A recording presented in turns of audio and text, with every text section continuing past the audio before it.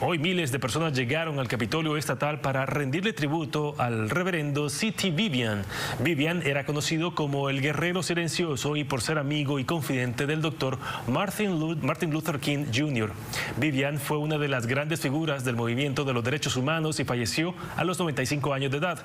Durante el día en Atlanta se realizaron varios eventos para conmemorar su memoria.